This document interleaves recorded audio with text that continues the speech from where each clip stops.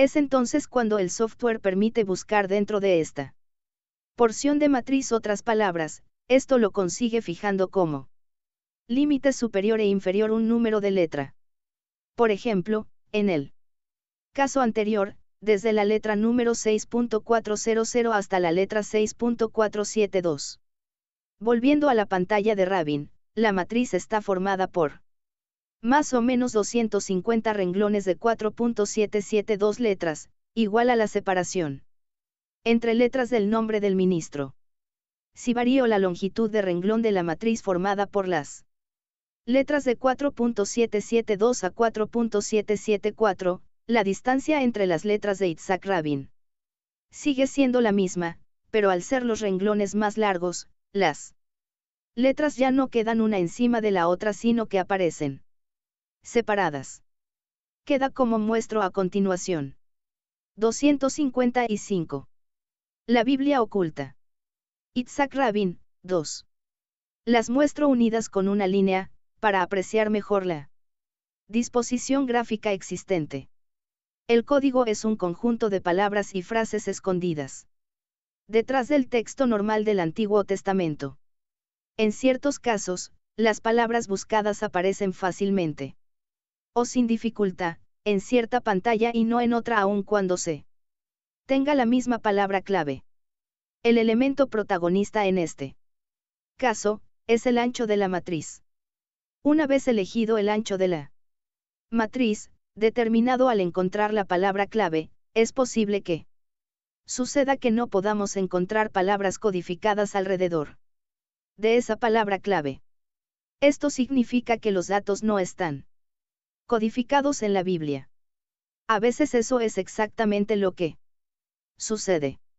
El software me permite variar la longitud de las líneas que forman la matriz. Esto quiere decir que si el ancho de la matriz original es por ejemplo de 4772 letras, como en el caso de la pantalla de Rabin, los datos aparecerían así. 256. Apéndice técnico. Itzhak Rabin, 3. Si fijo el ancho de la matriz en la mitad o sea 2386, queda así. Itzhak Rabin, 4. Si lo fijo en la cuarta parte o sea 1193. 257. La Biblia oculta. Itzhak Rabin, 5. Y así sucesivamente.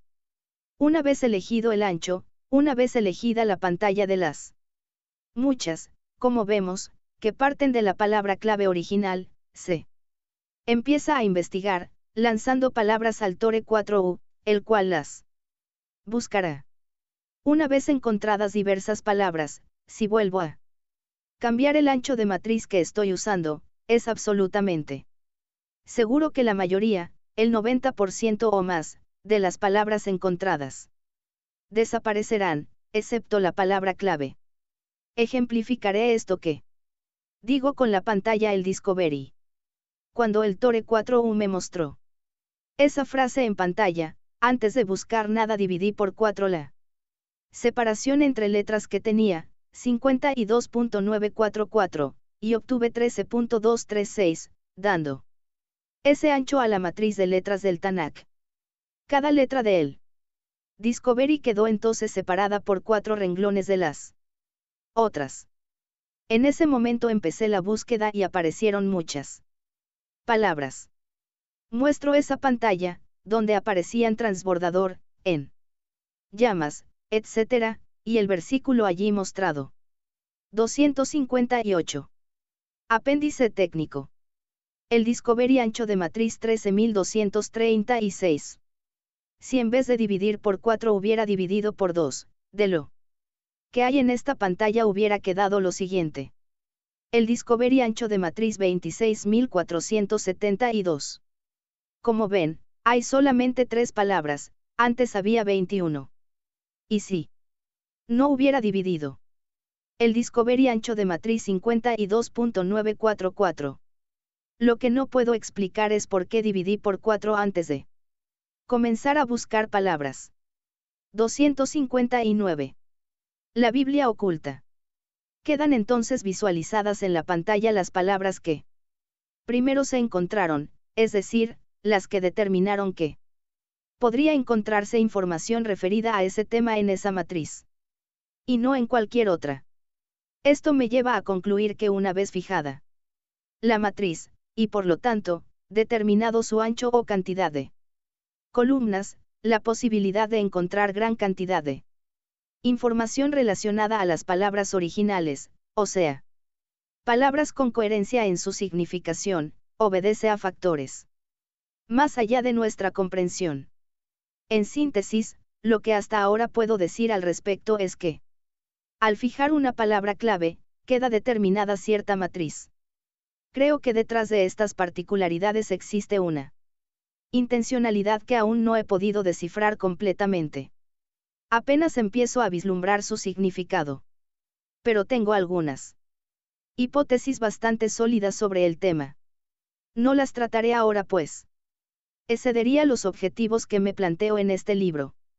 Sin embargo, ese es un tema amplio y apasionante. Cuando el software encuentra la palabra completa, por ejemplo Fidel, con una separación o salto entre letras de por ejemplo 1740 posiciones, o como en el caso de Itzhak Rabin. Con una separación de 4.772 posiciones entre letras, reordena las 300.000 o las 1.200.000 letras en filas de 1.740 en el caso de Fidel o 4.772 letras en el caso de Itzhak Rabin. Luego envía la imagen a la pantalla, que en realidad es un rectángulo de texto, en cuyo centro se visualizan las letras encontradas, verticalmente. Una arriba de la otra, como expliqué con Granja. En la pantalla de la PC quedan como fondo unas 4.000 letras. Ustedes las ven como puntitos negros que quedan detrás de las líneas formadas por las palabras codificadas. Estas letras pertenecen a lo que sería el texto normal, el texto que uno lee. Al abrir la Biblia. Las líneas, son las palabras codificadas. En la pantalla Itzhak Rabin, 1, por ejemplo, hay 40 renglones de 120 letras cada uno. Estas 120 letras son solo una porción de cada renglón de 4.772 letras en el caso de Itzhak.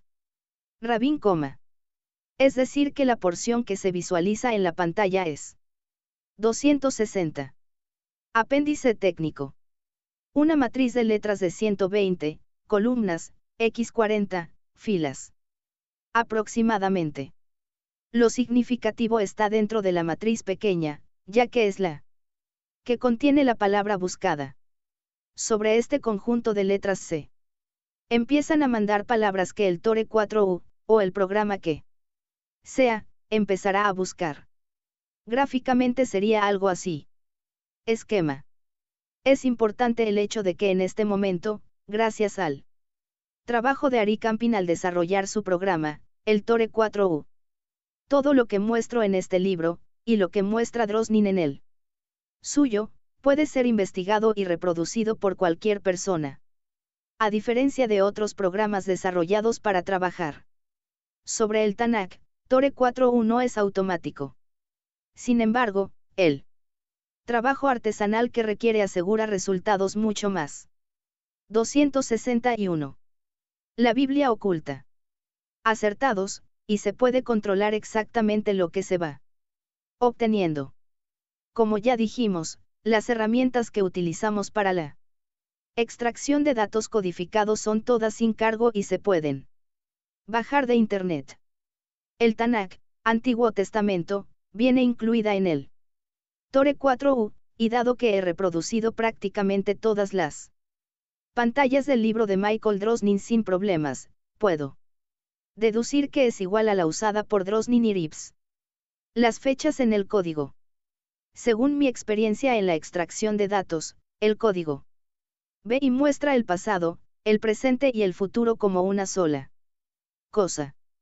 Podría de esto deducirse que está en un nivel de Menschenel superior, y que existe en un ámbito, al menos, pente de Menschenel. ¿Qué quiero decir con esto? Nosotros, seres humanos, Existimos y percibimos en un universo tetradimensional, o sea, un universo material, largo, alto y ancho, y transcurrimos tiempo, como cuarta dimensión. Pero el universo que percibimos está determinado y creado por nuestras percepciones. Supongamos que nuestro universo fuera plano, teniendo solo largo y ancho, y un transcurrir temporal, sería un universo tridimensional. Imagínenlo como la superficie de una mesa. Seríamos seres chatos que viviríamos en casas chatas, cuyas puertas serían líneas finas y sus paredes líneas gruesas. Si un ser humano, o no humano pero tridimensional, pasara un dedo a través de ese plano chato, nosotros seres chatos solo veríamos aparecer una línea más o menos redonda, pero no veríamos el resto del dedo, por no tener percepción tridimensional. Si ese ser hace pasar un aro pintado de rojo, azul y verde por nuestro plano de existencia y lo hace girar, veremos un círculo que cambia sucesivamente de color. Al cabo de un tiempo, por repetición, en el momento que vemos la línea azul afirmaremos que la línea roja. 262. Apéndice técnico. Ya pertenece al pasado, y que la línea verde aparecerá en el futuro. Pero el ser que está haciendo girar el aro lo ve completo, ve. Simultáneamente lo que en nuestro universo chato es pasado, presente y futuro. Subiendo una dimensión, lo que para nosotros es presente, pasado y futuro, tal vez sea algo simultáneo para seres. En un nivel de Menschenel superior al nuestro, o diferente. Y sí. Percibimos cosas que no son materiales pero existen y afectan. Nuestro universo, cuánto mide una idea, dónde está una emoción. Cuánto pesa un sentimiento, también pueden existir seres en ese. Kentin así como existen seres y cosas en el nuestro. El código, por estar en un nivel de Menschenel superior al nuestro, tal vez podríamos llamarlo eternidad, es para nosotros lo que el ser dueño del aro es para los humanos chatos. La única forma de fijar en el tiempo algo que el código nos muestra, o al menos la única que se me ocurre, es arrojar sobre la pantalla que se esté viendo, números correspondientes a años. Pero del calendario hebreo, porque se expresan en letras. En la práctica, y de acuerdo a mi experiencia personal, la aparición de fechas en forma codificada debe manejarse con extremo cuidado. Para poder ser precisos, es necesario que las fechas estén interrelacionadas sólidamente con el resto de los datos a nivel contextual. 263. Conclusiones. Conclusiones sobre el código. A lo largo de años de investigación, y a medida que obtenía experiencia en la extracción de información codificada. Comprendí que no estaba ante algo común. Estas son algunas de las conclusiones a las que llegué respecto al código oculto. Ojalá sirvan para allanar el camino de todos. Aquellos que quieran realizar búsquedas que ayuden a solucionar o a entender algunas situaciones. Todo el Antiguo Testamento, la Biblia antigua o Tanakh, Está codificado. No solo algunos libros, sino en forma completa. Ni el Antiguo Testamento ni el Nuevo, ni aún el Código se contradicen en el punto de que este tiempo es el fin de los días, es el de las épocas finales, los tiempos en que las verdades salen a la luz. Por eso, ha sido abierto el libro sellado, el que expone la otra cara o la verdad de los acontecimientos. Tiene una triple función, clarificar, advertir y revelar. No es un objeto estático. Funciona sincrónicamente. Tiene actividad propia, como él mismo lo afirma en varias pantallas. Es más grande y extenso que la misma Biblia en la que permaneció al acecho hasta que le fue oportuno manifestarse. Momento no debido al azar sino que previsto desde el origen de los tiempos. Es un ente dinámico, desconozco el grado, solo lo intuyo. Pero sí puedo afirmar que está lejos de ser un ente estático.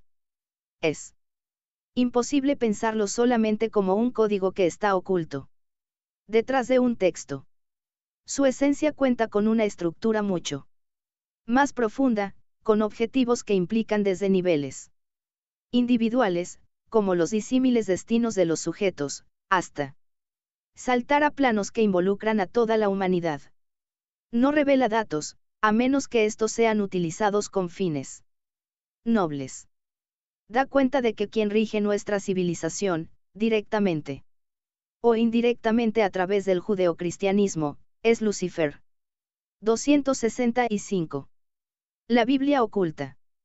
También conocido como Jehová, lo cual es asimismo evidente al observar las acciones actuales de muchos laídes mundiales. En varios casos, hace referencia abiertamente, incluso a vidas pasadas. No todos los temas están codificados. Está dirigido a quienes íbamos a estar trabajando en él. Se pueden utilizar técnicas de búsqueda distintas. Lo que Drosnin llama hoy niveles de acceso o niveles de análisis, son en realidad, distintos métodos de exploración. A diferencia de lo que afirman el Dr. Ips y Drosnin en el segundo libro de este, diciendo que podemos no tener la tecnología necesaria para descifrar todo el código, yo alego que, dado que fue planificado su descubrimiento para estos días, sí. Tenemos todo lo necesario para recibir el mensaje completo. La Biblia que hoy está codificada. No sé cómo fue entregada. Si a una misma persona. En un mismo momento. En una misma época. Tampoco si lo que le fue entregado a Moisés en el monte Sinaí es.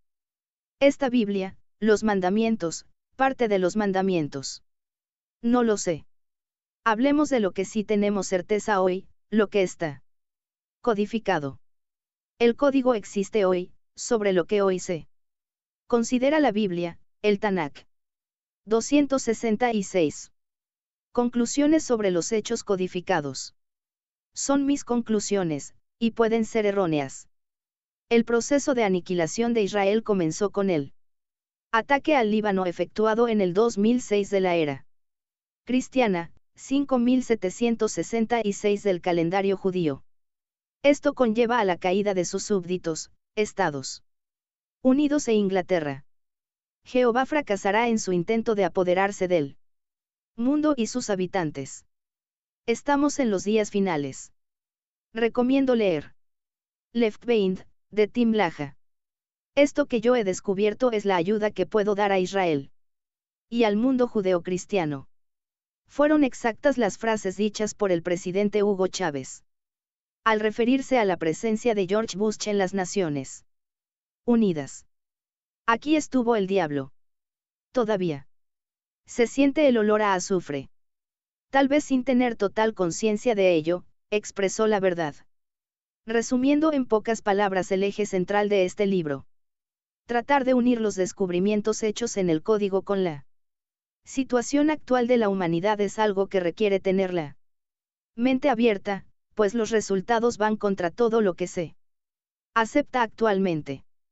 Lo aprobado en estos tiempos es totalmente independiente de su veracidad. Por ejemplo, cuando Bill Clinton se reunía oficialmente con los líderes religiosos de su país para expresar públicamente su arrepentimiento por sus deslices con Mónica. Lewinsky, todos, incluidos dichos líderes, sabían que era una la Biblia oculta. Representación absolutamente falsa, para cumplir con lo que formalmente se esperaba de él. El ataque a Irak desatado en forma de bombardeos por él mismo presidente cuando apareció la demanda de Paula Jones. Ofensiva que terminó al retirar ella la demanda, es otra prueba de una acción llevada a cabo justificándola con mentiras. La invasión a Irak por Estados Unidos implicó además la abyecta actitud de los principales gobiernos occidentales, sumisos. Ante la declaración de George Bush los que no estén con nosotros están contra nosotros. De igual modo, el autoatentado a las Torres Gemelas para obtener el gas de Afganistán, el petróleo de Irak, la destrucción de la historia de la humanidad tabletas sumerias, caldeas, asirias.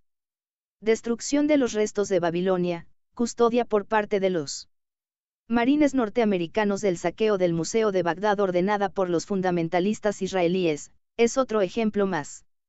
La degradación moral y ética en que se encuentra sumida la civilización occidental y cristiana, incluidas sus principales instituciones religiosas, se ve en la imposición forzada de cosas que hasta hace poco tiempo se consideraban perversiones.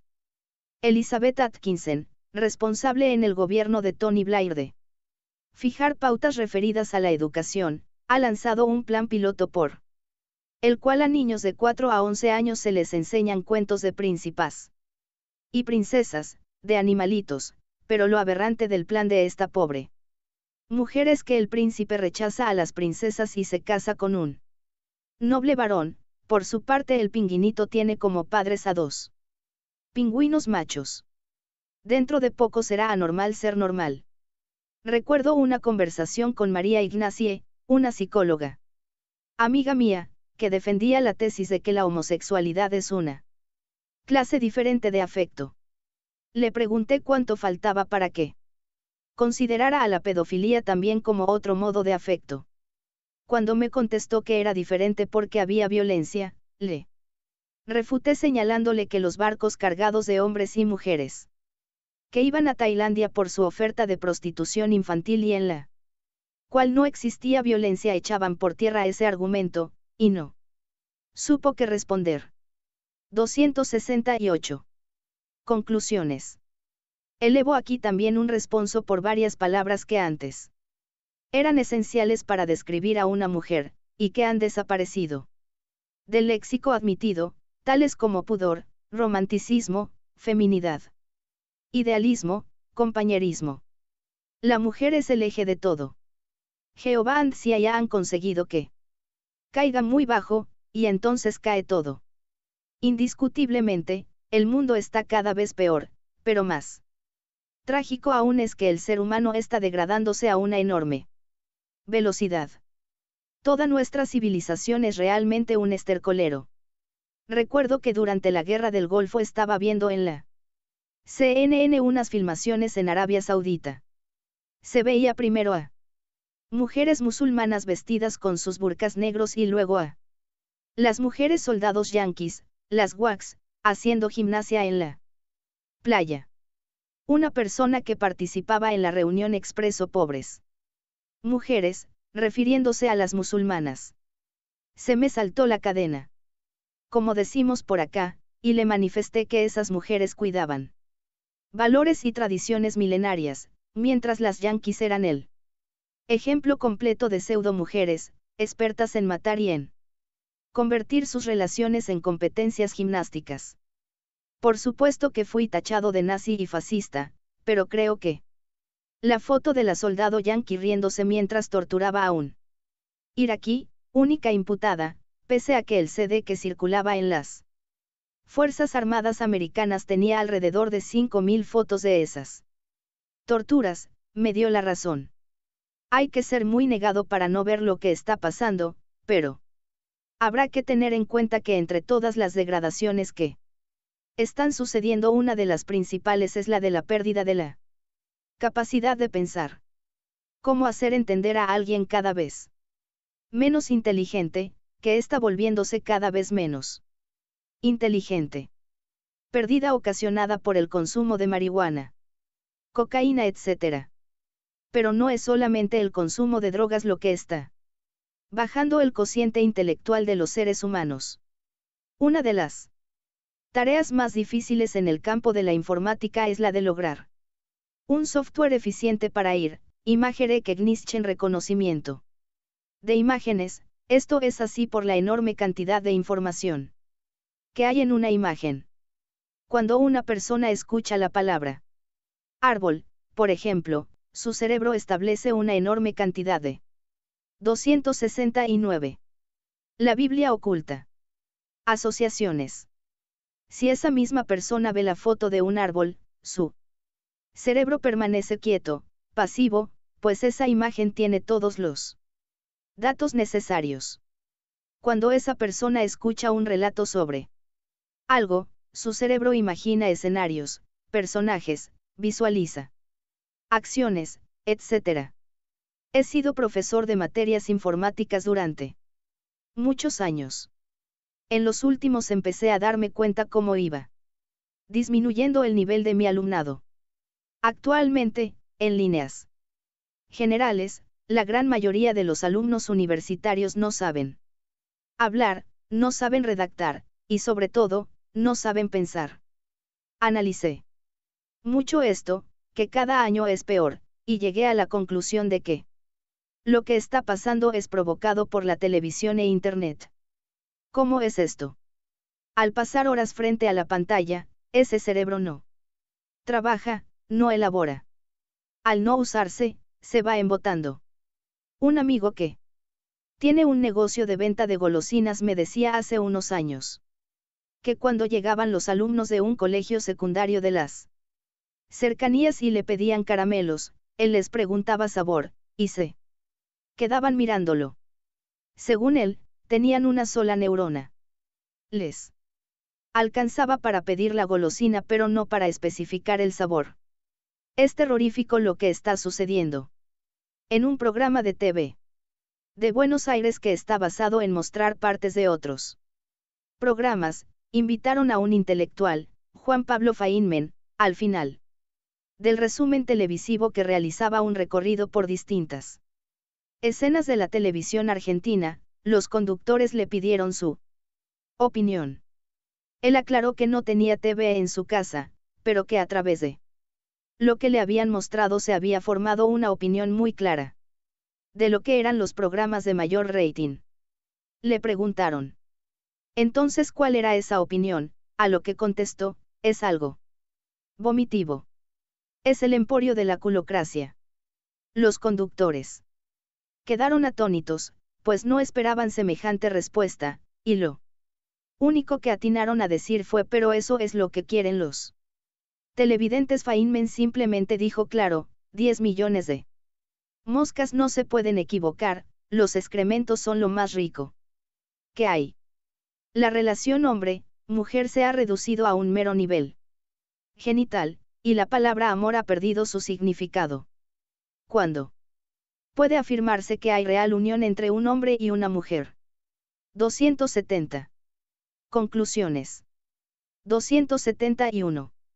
Hay varios componentes de esa unión que pueden graficarse. De la siguiente forma. Una persona va a encontrar un millón de personas del otro. Sexo con las que tiene afinidad física, 100.000 con afinidad emocional, 10.000 con afinidad intelectual, 1.000 con afinidad mental, 10 con las que existe afinidad espiritual. Si una relación Empieza por la parte física, las probabilidades de que esa unión llegue a ser total son bajísimas, y eso explica que el fracaso sea el estándar.